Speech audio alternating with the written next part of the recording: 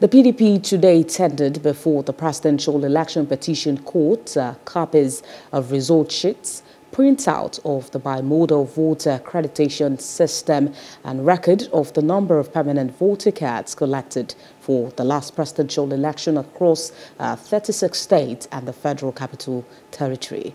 The documents were attended as part of the commencement of the hearing in the petition by the People's Democratic Party and its uh, presidential candidate, Atiku Abubakar. The documents tendered by the petitioner's lawyer, Eyitayo Jegede SAN, were admitted in evidence with the objection raised in relation to some of the documents by lawyers to the respondents.